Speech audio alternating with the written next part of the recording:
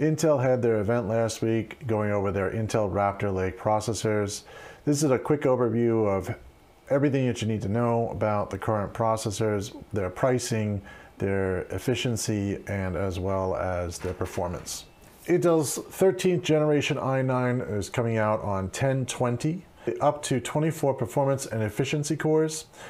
15% better single threaded performance, 41% better multi threaded performance, 15% better single threaded performance, 41% better multi-threaded performance, none of which was explained was which one it was actually compared to. I assume this was compared to their last generation, which was their 12th generation. That's an assumption because the graph did not show that. Up to 5.8 gigahertz speed, that's their max speed, improved P-core, cache architecture, and double E-cores. So what does this mean? P-cores are performance cores, which are your main threaded tasks. Your E-cores are your efficiency cores. These are more of your background tasks. These also use less power than your original P cores. E cores are supported in Windows 10, 21H2 versions. If you're going to be using the 13th generation Intel processors, I would recommend that you're at least on Windows 10, 21H2. You could check this in your Windows system information. If you're on Windows 11, the efficiency is a little bit better on Windows 11 and it does give you a little bit better performance. Your E cores will show a little bit better performance on Windows 11. It's very minimal, so if you're still on Windows 10, it's okay. Motherboards will also still support support PCIe Gen 5.0 support. They will also still have DDR5 RAM support. I'm only going to give you the pricing that was not actually in the event. I'm going to give you the real world pricing because Intel gives you the pricing that's at bulk rates. I prefer to actually give you the cost that it's actually going to cost you from Newegg or from Micro Center or whomever. These are prices from Newegg.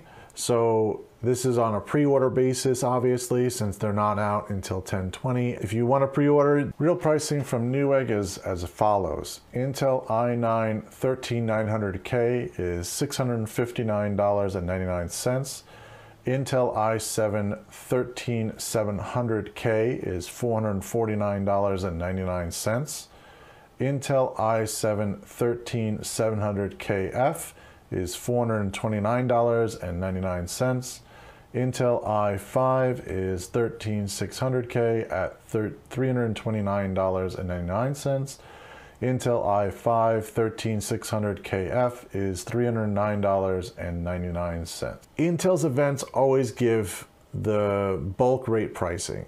The bulk rate pricing means that that is hundreds to thousands of processors purchased at one time given to retailers so that they can sell them out at their store.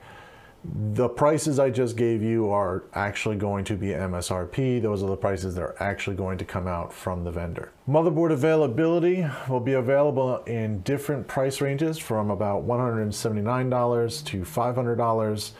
That are, those are brand new motherboards that are supporting the 13th gen as well as any, you know, previous gen. They did not change the socket, so the socket is still an LGA 1700 socket, which most manufacturers of motherboards are actually going to support the 13th gen processor with a BIOS upgrade. As an example, the ASRock Z69M-ITX slash AX already has a new BIOS that supports the 13th gen processor. If you have a newer motherboard that does support this socket, it might be able to just drop the processor in as an upgrade with just a quick BIOS upgrade before you do that. We do recommend that you back up your BIOS and that you do have an older copy of a BIOS just in case you go over to the new 13th gen processor and it is not such a uh, great experience.